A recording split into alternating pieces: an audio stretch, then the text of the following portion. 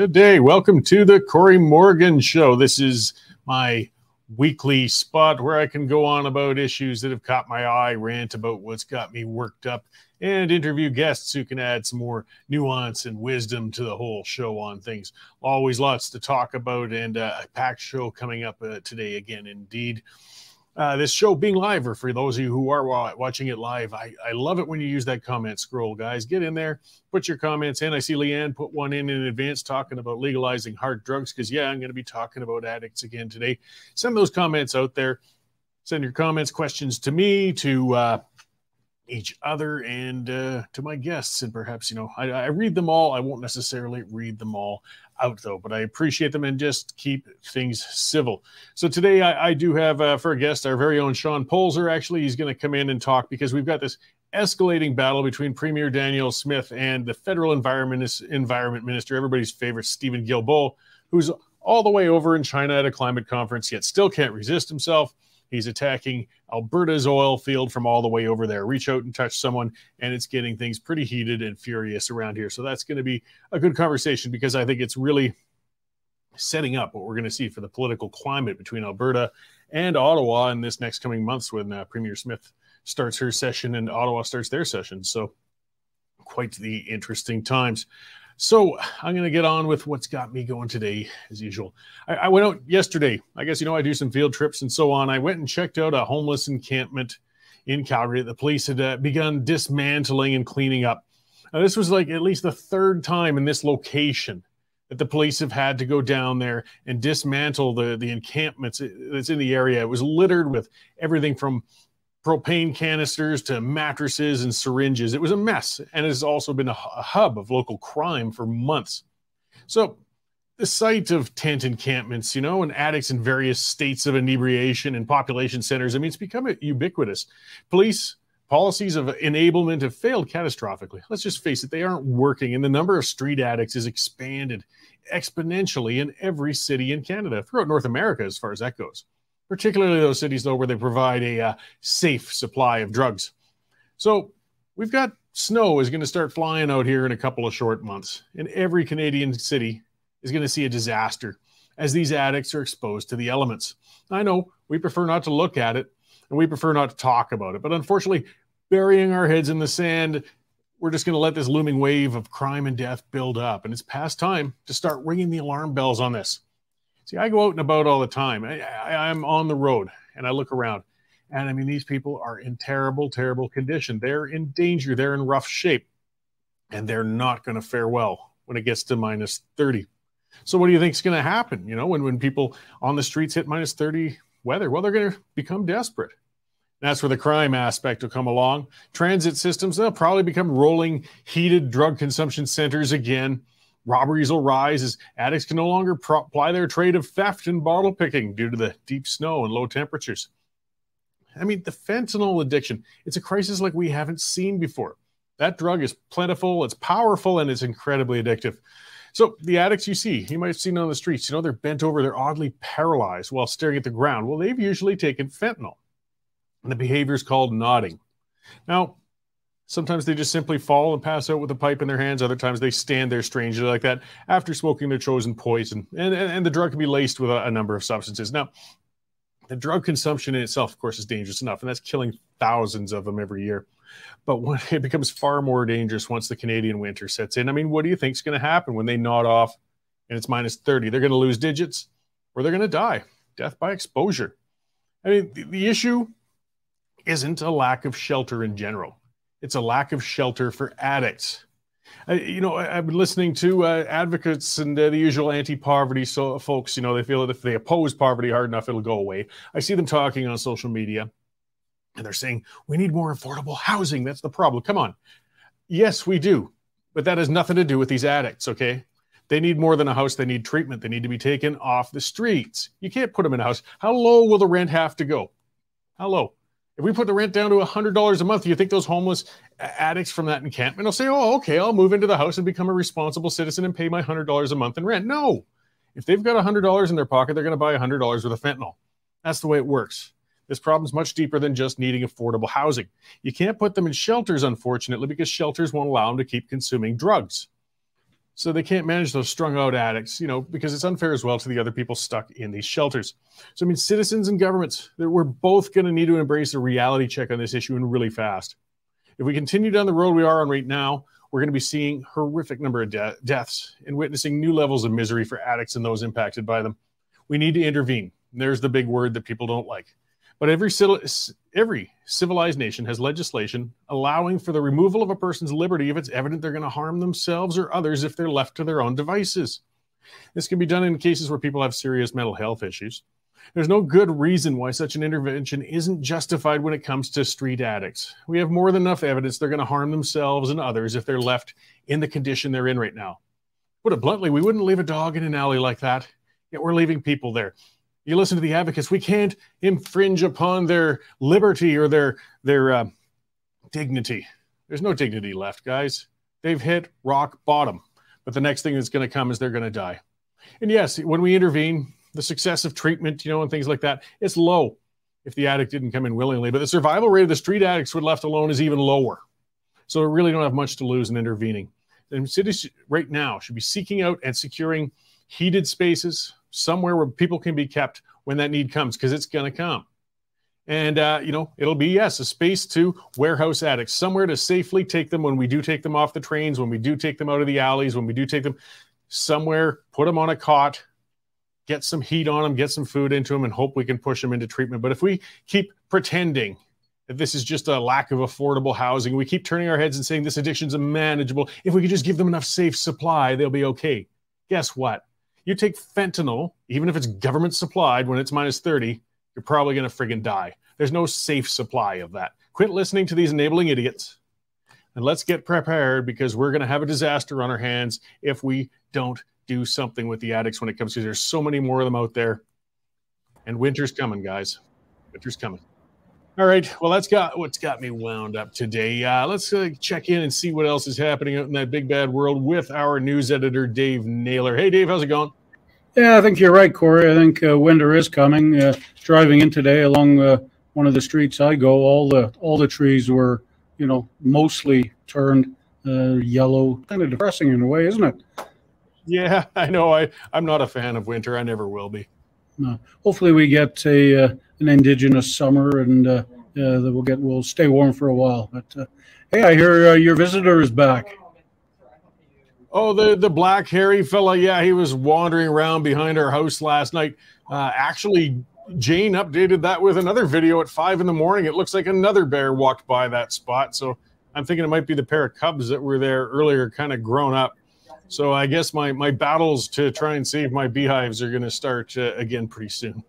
Yeah, and you, you you got it all electrified and uh, everything's good this year. You think?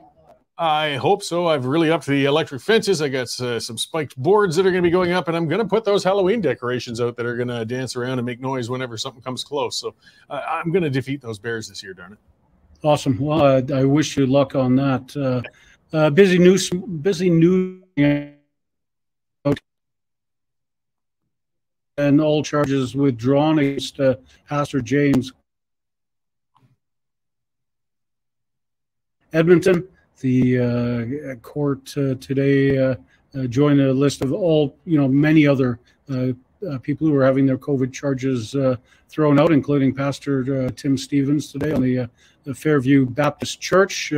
they were thrown out. So, you know, all these people battled against the the COVID and COVID restrictions appear to have won won their case. Uh, also, big news this morning with the feud between Alberta Premier Danielle Smith and Environmental uh, Minister Stephen Guilbeault. Uh, he's over in China now, uh, uh, talking to them, and uh, you know, instead of you know giving China some advice, he he used it to shred Suncor. And they announced a couple of weeks ago that they were sort of giving up on renewals and and going hard on just oil production itself. so Guilbeault says that that means you know his his efforts to cap emissions are are, are even more needed. To which Premier Smith today uh, unle- unloaded uh, on him uh, quite heavily. So, and I understand you got my colleague Shawn Polczer coming to uh, to talk about that. It's uh, it's a developing good uh, a good national story. And our, our NDP friend, Charlie Angus, he took a shot at the Western Standard yesterday, basically saying, uh, you know, we were partly to blame for the, the death of Annette Lewis. Uh, she's the Edmonton woman who uh, died last week because she refused COVID, a COVID vaccine and was denied a transplant because of it. And Charlie thought uh, we're to blame. So our opinion editor, Nigel Hannaford, takes a run at him. So that's uh, that's a good. I'm also doing well this morning, Colin, or this morning, Cory. And I draw your attention. Uh, I know you're a bee guy. Uh, uh earlier this morning, we printed a story on uh, bee horror in Toronto. Five million bees on the loose uh, after a truck carrying their crates crashed. so, holy cow! You can imagine imagine what a swarm of five million of them look like, Cory.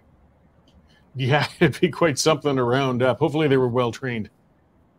Yeah, and then you told me how many bees you have. Uh, that kind of shocked me, to be honest. Yeah, no, it's uh, anywhere from 30 to, to 60,000 in a hive. I figure mine's got about 50,000. At this point of the summer, they really pack up. So, as many bees as that was, it was probably only about 100 hives on that, that truck, but that's still a heck of a lot of uh, heck of a lot of bees on the loose to try and uh, recapture. Yeah, and I bet those uh, those bears are salivating at the thought of all that honey right now, uh, Cory. Oh yeah, they're, they're making their plans. They're coming. Yeah.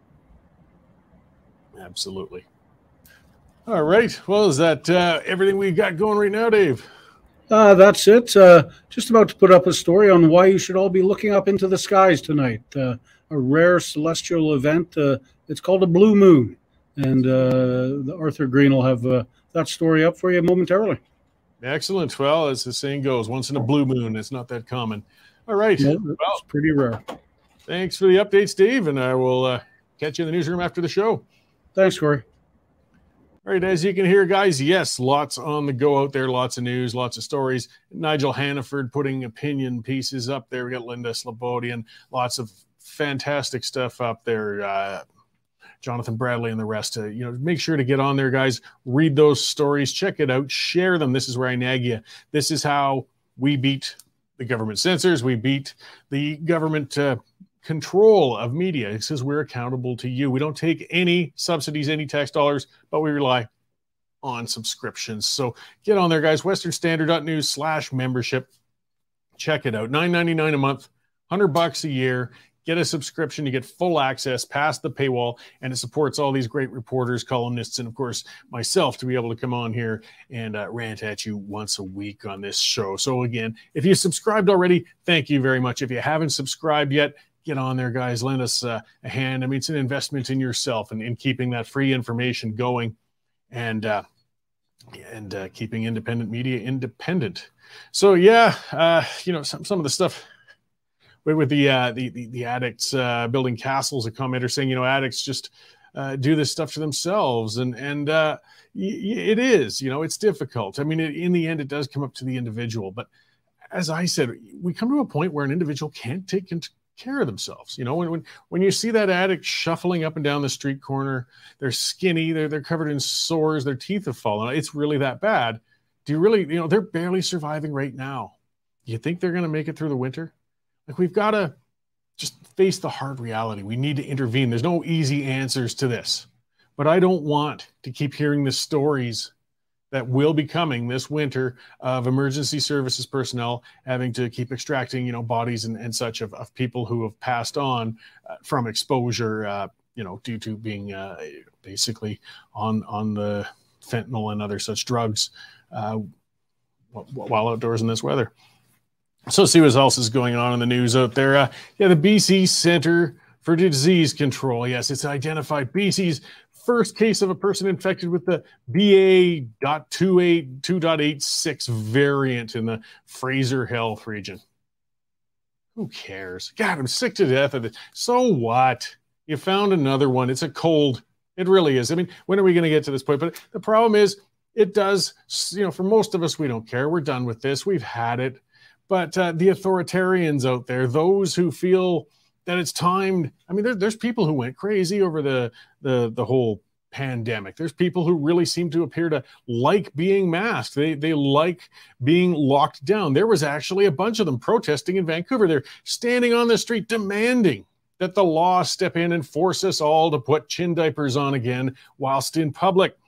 Which I mean, there was all of six or seven of these nut cases, but one guy counter protested. And look it up online. You know that that video. It's it's quite interested interesting. The, the one guy counter protested because he was a you know I guess not supportive of mandatory masking, and the people with the masks attacked him and tackled him to the ground and smashed him up pretty badly. So basically, they're saying mask up for your own protection, or we will beat the hell out of you. That's uh, nice uh, freedom loving type logic. And I'm certain Mr. Polczer is going to find his way in here pretty soon, and we'll have a discussion about uh, uh, Danielle Smith and, and uh, Mr. Guilbeault.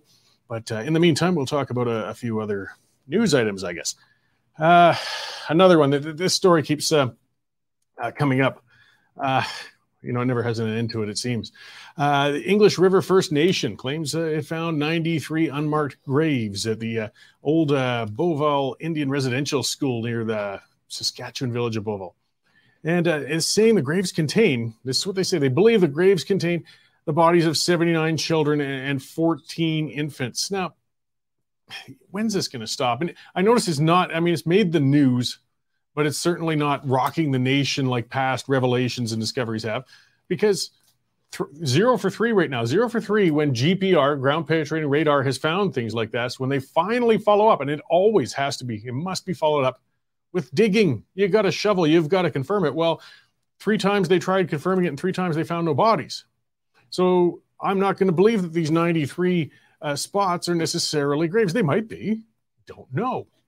But we've got to stop lighting our hair on fire every time the GPR finds something because it's got a pretty terrible record of accuracy. But here we go again. I mean, at least the news has been a little, the news uh, at least has been calm about it. They're talking about areas of interest that appear to be, they're covering their butts a bit in, in some of the uh, outlets reporting on this. But uh, you know, the activists and everything, of course, are immediately calling it graves, immediately calling it genocide, and all the good stuff. And uh, it, has got to get uh, uh, more realistic on these things. So, I mean, some of these statements like schools should become or should come with playgrounds, not graveyards. Yeah, I agree. So once you find a school that had a graveyard, we'll talk about that. But in the meantime, calm down the rhetoric, get a shovel, and prove it because the body count so far on this whole thing is zero. And uh, I like it that way. Uh, you know, I don't like the fact that the world's been turned on end over something we haven't found proof of yet. But I'm glad that there weren't actually mass murders going on and children surreptitiously buried in these cemeteries. Uh, you know, Kamloops, of course, is another great example. That was the starting one. That was the one that set everything off. And people get mixed up on that a lot. Kamloops was never known as originally being a cemetery. It was an orchard and a septic field. And uh, there's been, to date, even though they kept saying 215 and then 200, to date, the body count in Kamloops is zero. And uh, until somebody actually identifies a body, that's not going to change.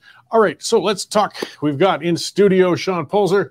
He's our ed- energy and business and everything in general reporter. So uh, thanks for coming in, Shawn. Uh, we got some some interesting times happening here between Ottawa and Alberta. Eh? Yeah, thanks, Cory. Uh, yeah, well, there's been kind of a war of words in the Twitter sphere. I don't know what you call it these days, the exosphere, uh, between uh, Premier Danielle Smith and Environment Minister Stephen Guilbeault um, pretty much started uh, when he came to Calgary in July, um, followed up with the electricity regulations.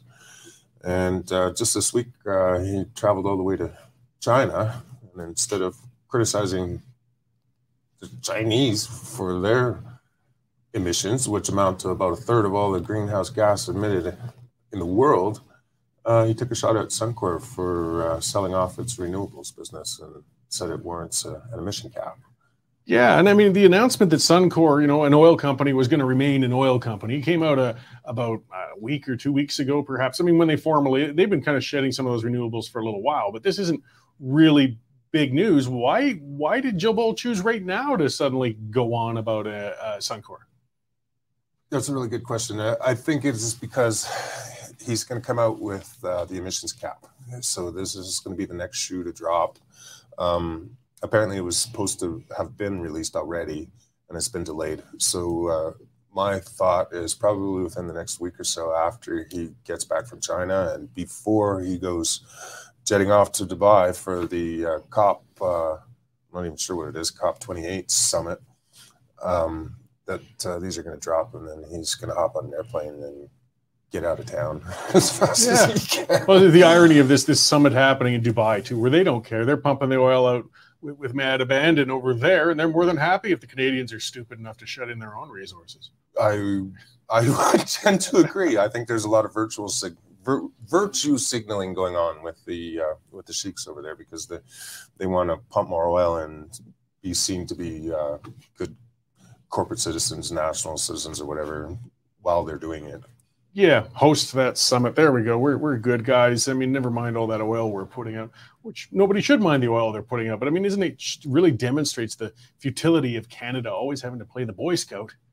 And, uh, and meanwhile, he's paying lip service to some of the worst offenders on the planet, being China and uh, and some of the uh, Middle Eastern uh, producers. Well, uh, Monsieur Guilbeault, in his previous uh, press statements, has actually bragged about Canada being the first mover and setting an example for all these other countries in the world, to, uh, you know, to presumably follow us. Even though uh, China, under the Paris Accord, has a 2060 deadline to reach net zero, and India is 2070. And uh, between the two of them, they are half of all the global emissions in the world. And we're at 1.6% of the global emissions, I believe. And something like that. And we're supposed to hit it by 2035. Right. And uh, Suncor is about 2% of that 1.5%. Yeah. So globally speaking, even though they're the world's largest oil sands producer, it's we're talking tenths of a percentage point. But the economic impact, I mean, if we, you know, they keep talking, we want to transition, we want to get out, we want to lose the oil and gas in, in Canada. I, I mean, it provides a, a, massive resource for the federal government. I mean, people seem to forget that. Some of the supporters in Toronto or Montreal might not realize, but a lot of these social programs they're enjoying are due to this oil and gas uh, being generated out here. Well, they've got a rude awakening coming because uh, I think that the policy of the federal government is actually to make oil production so expensive that it just becomes an uneconomic uh, proposition and producers will basically be forced to leave it in the ground. But what that's going to do for anybody who has home heating oil down east, anybody who drives a car, and people are still going to have to drive a car even after the EVs take over. Uh, you're going to be looking at. I saw one forecast today, uh, 300 bucks a barrel for oil.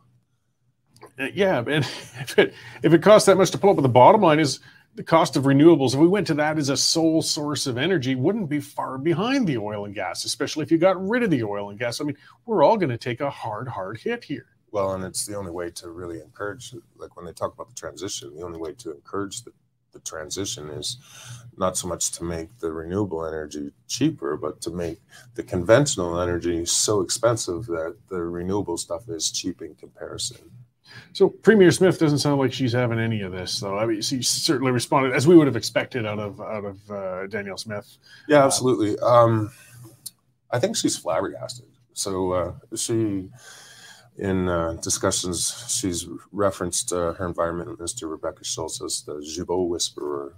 And uh, I think they're coming to the end of their rope and like really trying to deal with this guy because uh, every time you take, you seem like you take one step forward, it's like four, five, six steps backwards. And uh, I don't know how long they continue like this. Well, you can't reason with Guilbeault. I mean, maybe people will start realizing this. You know, look him up. The picture of him manically grinning in an orange prison jumpsuit as he's being taken away in handcuffs. Like this man's an extremist. He, he always has yeah. been. We're not talking about a, a you know a, a, environmental activist who's been rational over this time. This is a guy on the fringe, and, and he's the most powerful environment minister in the country. And what's ironic is that he's threatening to uh, have the RCMP come after politicians like Smith and Moe and have them hauled away in handcuffs and orange jumpsuits, you know, for keeping the lights on in the middle of January. Well, and you know, speaking as a guy who's written a book on pursuing independence in the West, if they wanted to send the RCMP to start arresting Western politicians, I know it would be great for my book sales, but not very good for the stability of the country as a whole. I mean, this is really is challenging unity and stability within Canada. I mean, yeah, Scott Moe. I mean, this is in Saskatchewan where these battles are happening as well. Uh, it's just dangerous politics going on right now. Absolutely, and you know, um, there's for all the talk of uh, separation that there's been in this country. Uh, Quebec nationalism is more cultural based. Western nationalism is more economic based. It seems to me that these climate policies are becoming the catalyst for the breakup of the country. Trudeau is going to be the one who presides over the end of this federation, this confederation that we know. Well, and some of it's just the politics. I mean, we can see the liberals are in a bad position right now as far as the polls go. I mean, it could be we're looking at potentially two years before the next election. Anyways, a whole lot we know a whole lot can change between now and then. Uh, you know, nobody in the CPC should be popping champagne corks yet. You're in the lead, but that can that can evaporate quickly. And one of the tactics, uh, the old one uh, used by the liberals uh, with the senior Trudeau and his advisor, that old term, "Screw the West, we'll take the rest." Uh, playing the politics of of regional division has always been an asset for the Liberals. You know, if because we, what do they got to lose? They got two seats in Alberta, zero seats in Saskatchewan. If they can make us look like a bunch of jerks, uh, it tends to s- sell well in Toronto. Well, even Paul Martin. Um, I was really, I thought Paul Martin was a good finance minister, but I was really disappointed when he became prime minister because when he was down in the polls, that's exactly what he did was start kicking at the West and managed to somehow salvage a minority government out of it. But um, I don't know. I'm I'm hoping that the Trudeau Liberals are forced so far down that they're not going to be able to come back. But what really concerns me is the damage that they're going to be able to do in two years uh, with this wrecking ball that they have uh, flying around the world, uh, imposing all these policy by fiat.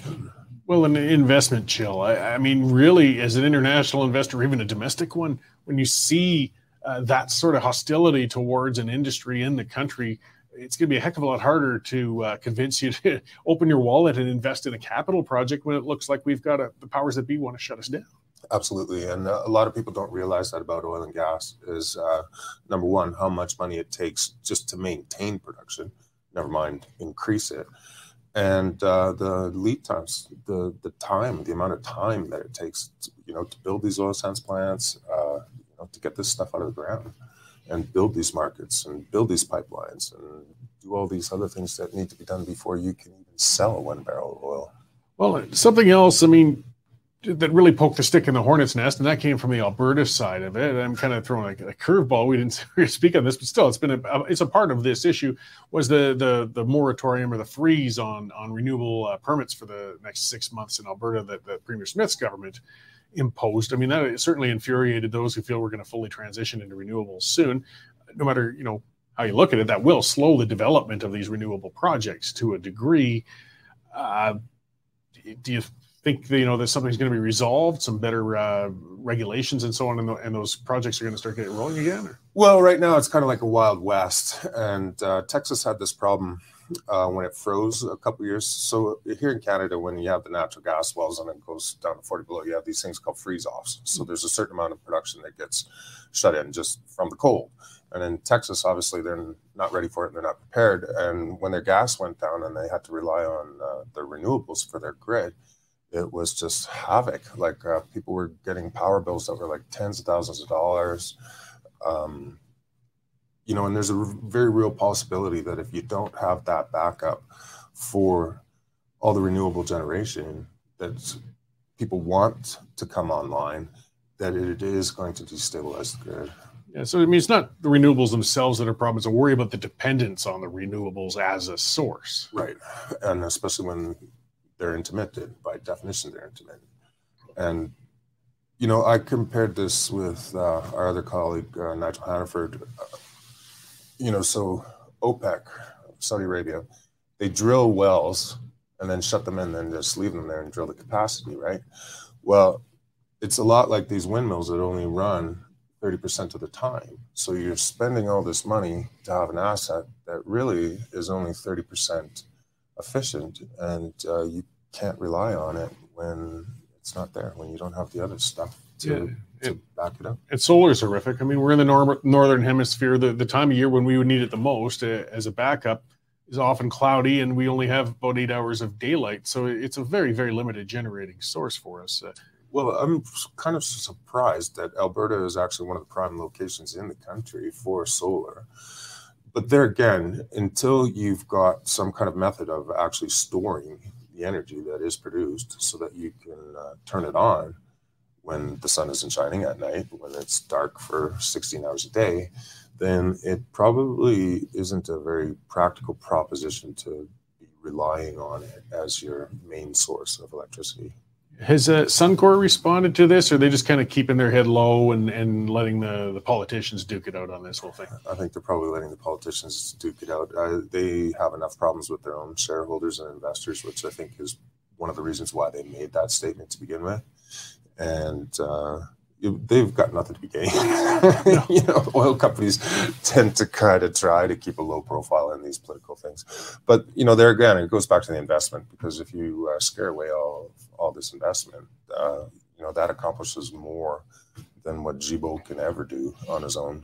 Yeah, and he's more than happy to scare it off. He knows that. I mean, he's not stupid; he's crazy, which is crazy. yeah, uh, crazy but not stupid. Which is dangerous. dangerous. yeah we're all going to pay a price. Well, what crazy times we're living in. But as I said earlier, I think it's just warming up right now. I mean, Guilbeault's from China.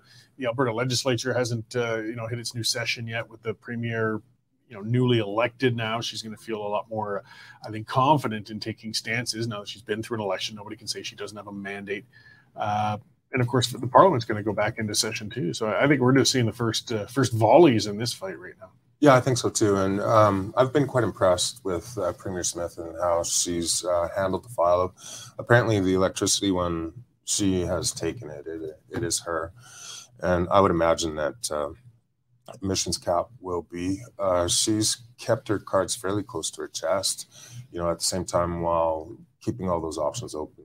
Sovereignty Act, uh, constitutional challenges, and you know, uh, but at the same time being very emphatic and very clear that these are unrealistic, they're unachievable, and they will not be implemented by 2035, and certainly not the way that uh, you know the liberal government thinks that they will.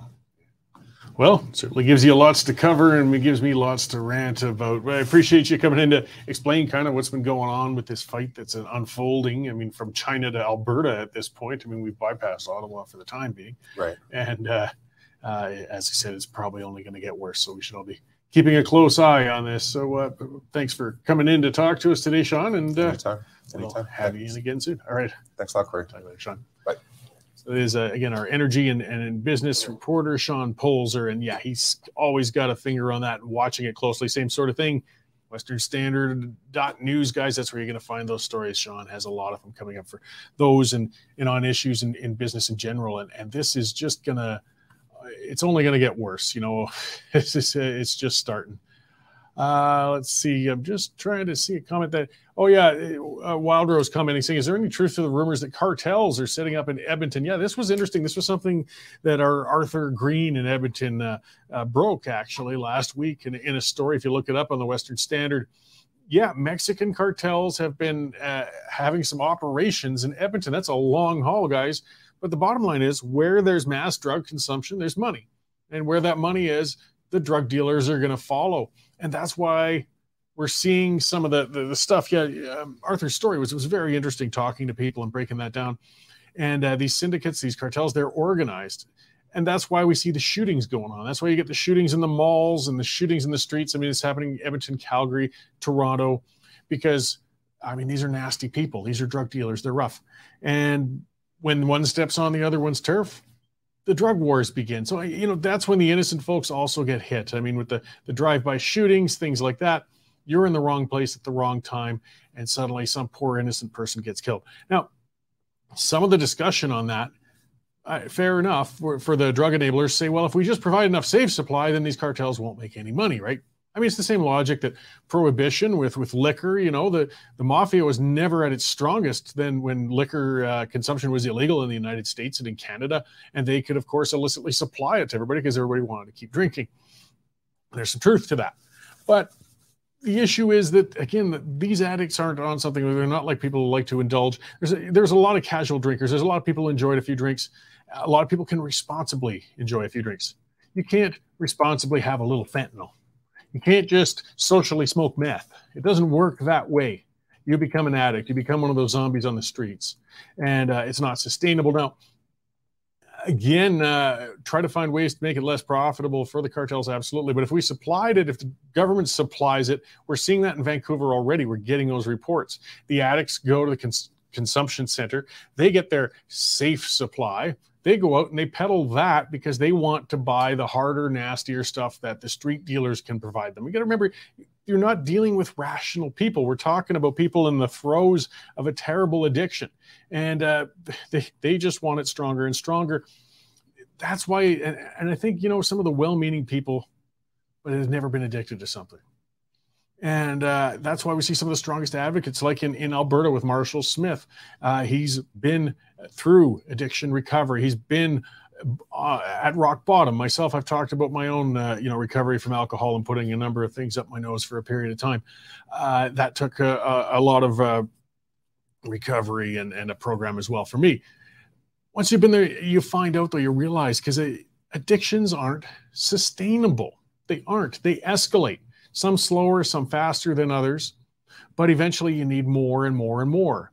And you let other important things lapse while you're pursuing your addiction or wasted from your addiction. So you're not going to do your job as well as you used to. Eventually you're going to lose your job. It's going to pressure your relationships. You know, wives, husbands, they get tired of living with an addict. They get tired of living with somebody who's strung out or drunk or messed up all the time.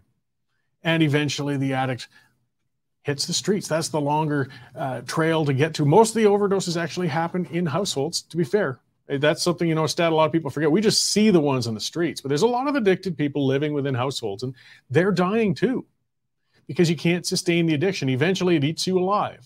You, you watch the, what, what is there for a safe supply, uh, maintainable supply of meth? You look at a meth addict, their, teeth get eaten out of their head they're covered in sores. They get skinny. They get drug induced psychosis.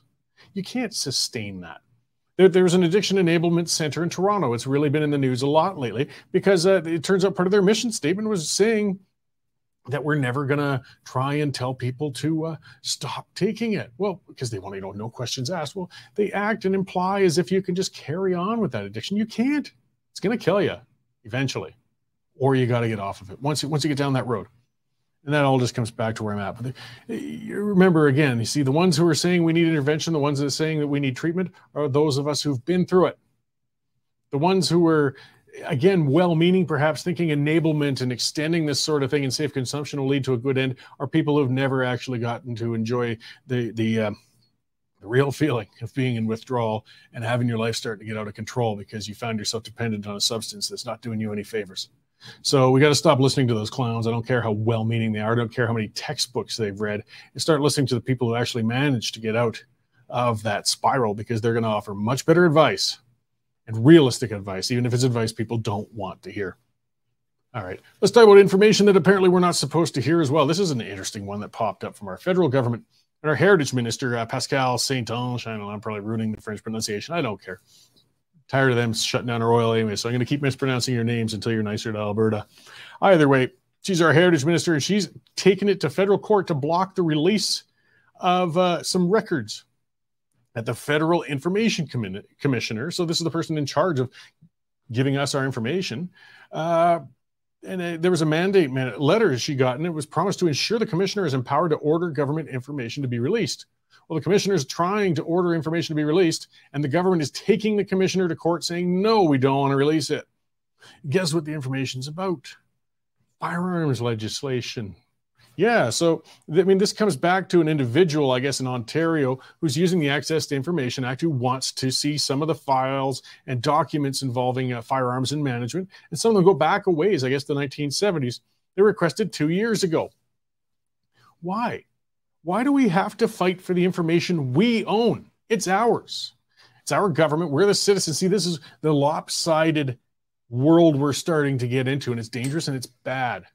The government's supposed to answer to us, not the other way around. When it comes to us asking for information, they should the default should be that we get the information until and unless they can really make a solid case as to why we shouldn't be allowed to see it. I mean, there's some areas, certainly national defense, things like that, some contracts with, with private companies that perhaps it's inappropriate uh, for us to see the information or, or of course, personal information about those working at the government. But firearm records, no, you don't like the political information getting out. That's our information.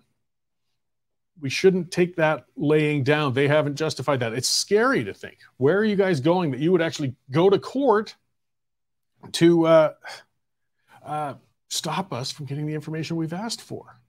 It's it's distressing, and I hope the judge tells her to uh, stuff it somewhere deep and dark. But the problem is, and that's something that broke recently as well, massive numbers of judges. It turns out that, you know, of course, appointed to their roles uh, by the prime minister, also donated and, and, and to the prime minister and, and bought some time, one-on-one time with him at some of those large, you know, uh, high-heeled fundraisers and things such as that.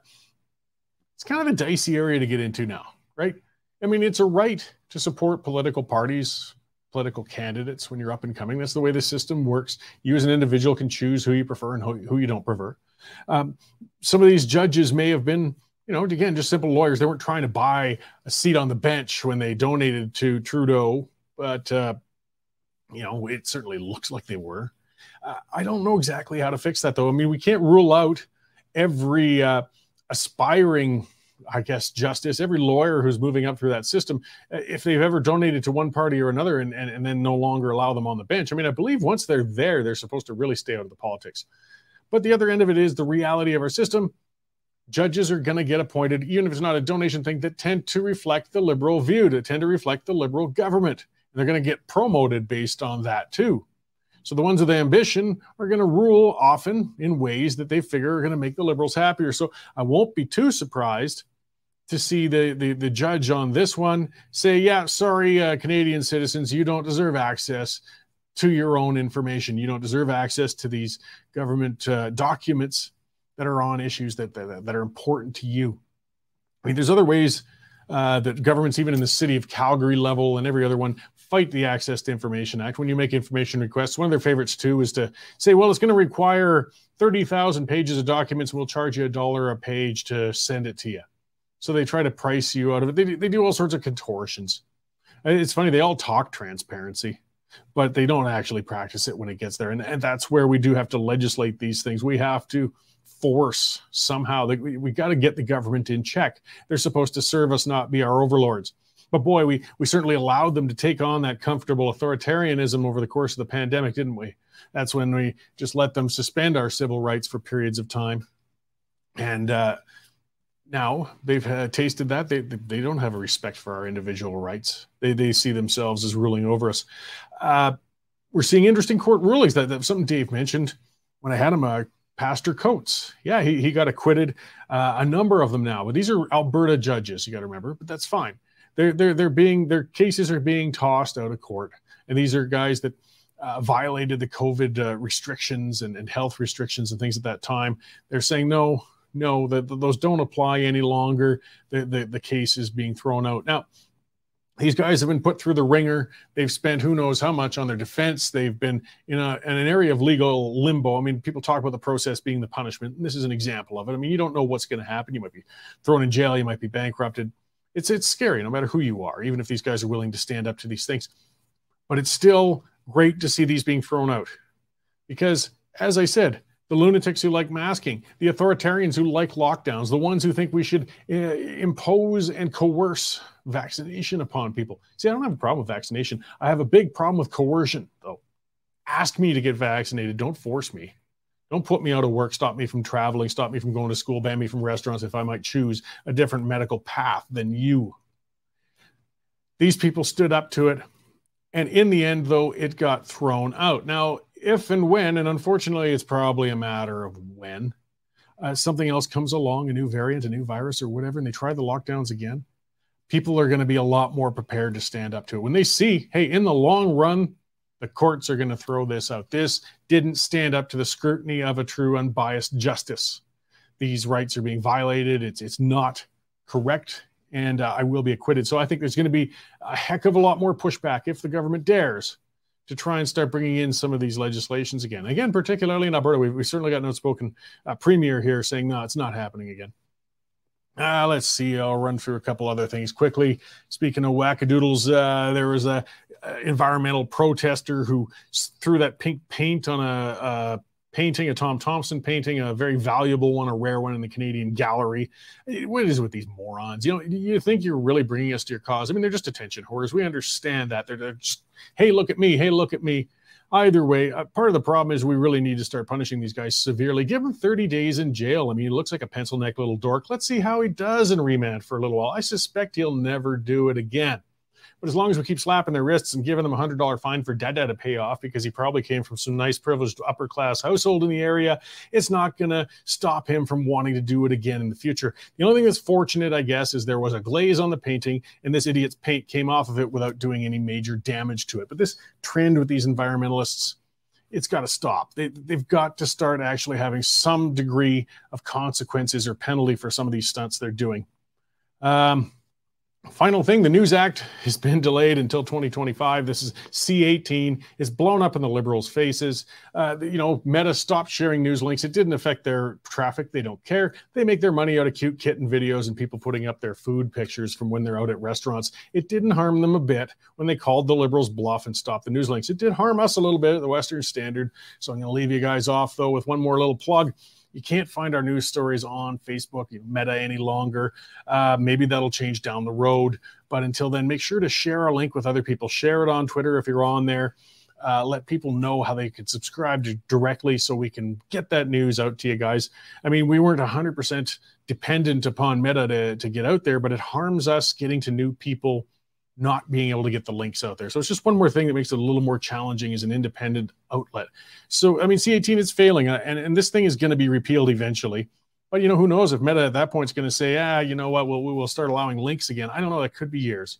So you know, I see right now, I mean, all the comments are coming on YouTube because we just can't get that out to Facebook any longer. So uh, share that, guys. Keep those memberships coming. We really appreciate it. And uh, to all of you tuning in today, guys, thank you very much for tuning in this week. Uh, watch for the pipeline coming up the, later on this evening. And uh, we'll be back again this week at this time, and I'll have a whole bunch of new things to complain about. Here's an update on commodity prices in Lethbridge for today. Cash barley is steady at 350. Feed wheat is unchanged at 365 and corn is down $2 at 365 per metric ton. In the milling wheat markets, December Minneapolis futures are lower 4.5 cents at 781.5 per bushel, with local hard red spring bid for September movement at 9.15 per bushel. Looking at canola, November futures are down $2.30 at 809.50, with delivered buys for September movement at $18 per bushel. In the pulse markets, nearby red lentil prices are higher a penny, at 34 cents per pound, and yellow peas remain at $11 per bushel. And in the cattle markets, October live cattle slipped 60 cents at 180.88 per hundredweight. For more information on pricing or picked up options, give me a call at 403 394 1711. I'm Matt Busicum at Marketplace Commodities, accurate real time marketing information and pricing options. Canadian Shooting Sports Association. Without the CSSA, our gun rights would have been taken long long ago. These guys are on the front lines uh, helping to draft smart and intelligent firearms regulations and legislation in Canada. And more importantly, educating the public about how we keep guns out of the hands of the wrong people. To become a member, it's absolutely worth every penny.